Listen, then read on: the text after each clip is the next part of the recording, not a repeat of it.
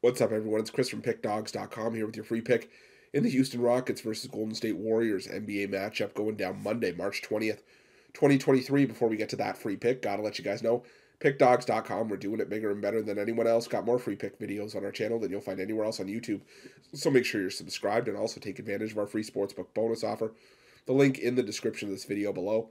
Now, while I do love giving out free picks, if you're looking for my best bets, the games I love the most, including my daily $15 best bet, check out pickdawgz.com and click the premium picks tab at the top of the page. But let's get to this one between the Houston Rockets and the Golden State Warriors. And the Houston Rockets coming into this game on the back to back, taking on the New Orleans Pelicans on Sunday. Meanwhile, the Golden State Warriors at uh, 36 and 36 on the year, 33, 37 and 2 against the number this season. After ending up with a third straight loss in a 133 to 119 road loss to the Memphis Grizzlies in their last matchup, I'll tell you, it's just another brick in the wall for the Golden State Warriors, who just for whatever reason cannot seem to get over the hump on the road.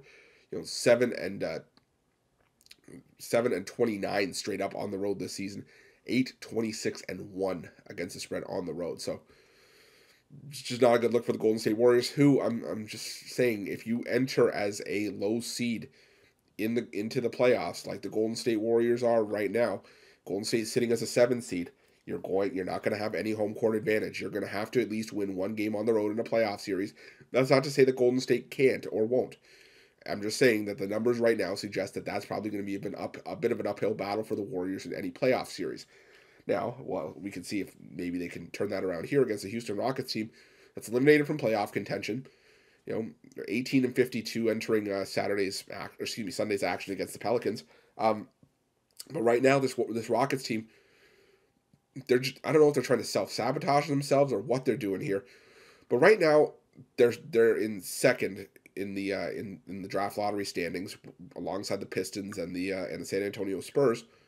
But now all of a sudden entering that game against uh, against the Pelicans, you know the Rockets have won three straight. So which Rockets team are we going to see?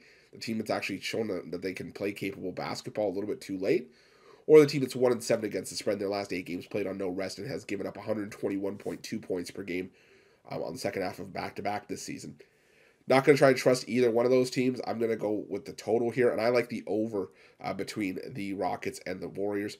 I know two teams that necessarily haven't been playing all that best, you know, in their current form, especially the Golden State Warriors on the road and uh, Houston just in general. But I said Houston on the second half of a back to back, giving up, up well over 121 points per game this season. And uh, in their last five games, the Golden State Warriors scored 122 points per game and allowing 124. So I think we got a bit of a higher scoring game here. Very little defense being played. I like the over between the Rockets and the Warriors, and that's going to be my free pick. But just a reminder, if you haven't already, make sure you're subscribed to our channel, smash the like button, hit that thumbs up. It doesn't cost you a cent, helps us out a ton. And if you're looking for my best bets, you can find those at Pick Dawgz Premium. While you're at Pick Dawgz, check out our betting tools. They're 100% free. They're the best betting tools in the business and tools that you'll want to make sure that you have in your back pocket when you're making your best bets for the day's action. Thanks for watching. We'll see you guys soon.